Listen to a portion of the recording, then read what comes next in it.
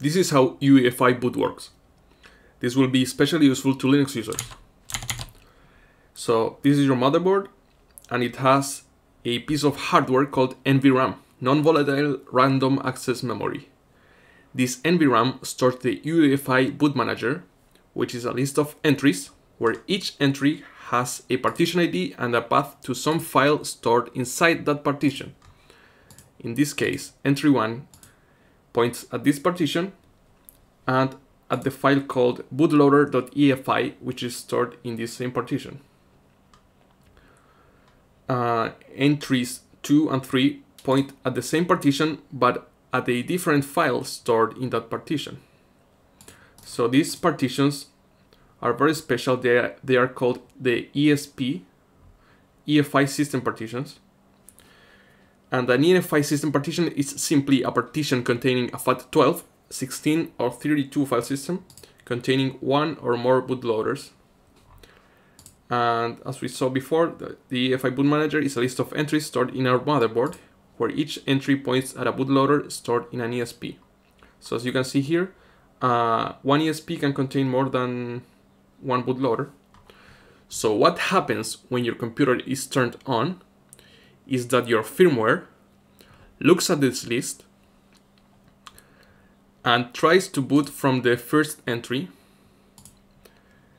and it loads this bootloader into memory, and this bootloader in turn will uh, execute the operating system which is stored here. Now let's imagine that the, this device was disconnected. So the firmware will look at this, the partition is not available, so it will jump at the next entry and execute this bootloader, shimx64.efi. And this one will probably execute the uh, Linux operating system which is stored here. Okay. And let's take a look at so here uh, this is the same thing we, we saw before and the boot manager entries can be generated by the firmware if it deems it necessary but also operating systems add an entry to the boot manager when they are first installed so this is generally not necessary and operating systems also create an ESP if one doesn't already exist. And another important thing to mention about the EFI boot manager is that the user can manage uh, this manager in two ways. One is using the firmware user interface, which is the good old F12 on boot uh, technique, which loads, loads you into the UEFI user interface or you can also manage it through an operating system that is booted in UEFI mode. So if you're running Linux, you can use the EFI boot MGR tool. I'm going to do that now. So sudo EFI boot MGR. This will give me a list of uh, entries. So I have two entries right now.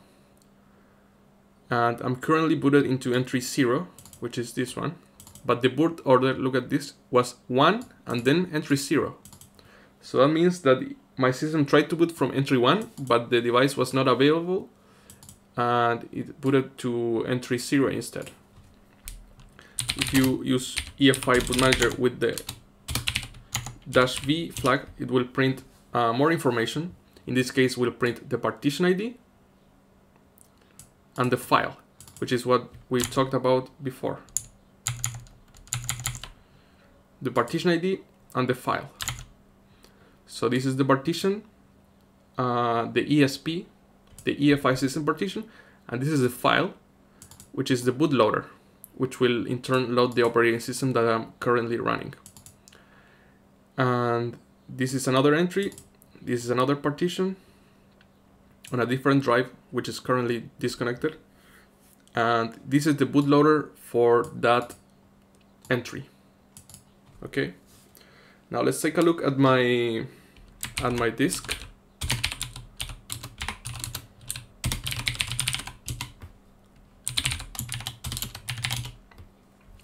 As you can see it has a GPT partition table. I have three partitions. The first one is the ESP and this is my ext4 partition where my operating system is installed. So what happens when I boot up the device is that the firmware looks at this ESP and at the file, which is a bootloader, and this bootloader stored here actually loads the operating system stored in this other partition. Okay. So an ESP is a partition that contains a FAT uh, file system, is labeled as an ESP in the GPT partition table, and has one or more bootloaders .efi files, which are the kind of file that UEFI uh, can execute, the firmware can execute. So if you don't know what a partition table is, it's simply a way to describe the partitions in a drive. The old way is MBR, and GPT is the newer format used by UEFI. So this is what we saw before, how to see the partition of your, the partition table type. So in my case it's GPT. If you were using MBR, uh, fdisk would say DOS here instead of instead of GPT. And what we've seen until now, this kind of thing, is the UEFI native entries. But there is also the fallback path entries, which are similar to this, but instead of defining a file, they just define a partition. So it would work like this. Oops. So this part, they only define a partition. So what happens is that the firmware looks at this partition and looks at a specified path, a previously uh, a path that is uh, standard. So the path is EFI boot bootx64.efi. So this is the method that live system ISOs use, and it's only intended for temporary boot media.